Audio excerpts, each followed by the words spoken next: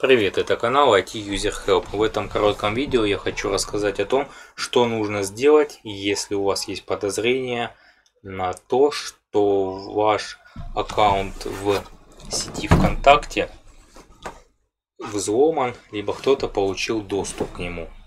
Для этого, если у вас все еще сохранился доступ к вашему аккаунту, заходим с э, десктопной версии заходим в настройки, переходим во вкладку безопасность.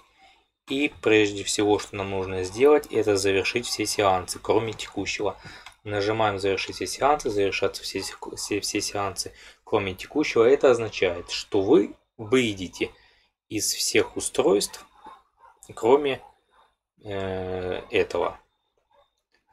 После этого действия вам нужно будет перейти во вкладку общие и изменить ваш текущий пароль.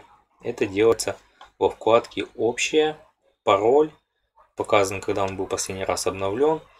Нажимаем «Изменить» и меняем сразу же пароль. Ставим его значительно сложнее, чем он был. Первое.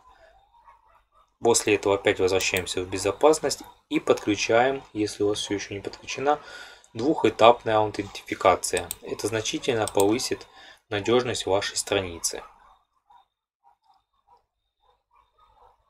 Если, если ситуация хуже и вы не, не имеете доступ к вашей странице уже, то единственный способ это э, обращаться в службу поддержки э, соцсети ВКонтакте.